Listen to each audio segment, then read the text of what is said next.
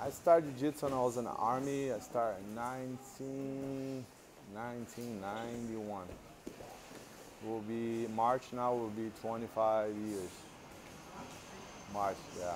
When I was in the army, I had some free time in there. I live away from my from my house, so too far to go back home. So I have to sleep on a base.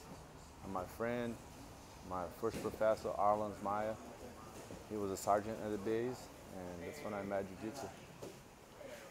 Taught us one class, and then since then, never stopped. Never spent in my life in 25 years. I never spent more than 10 days without stepping on a mat. No more than 10 days in 25 years.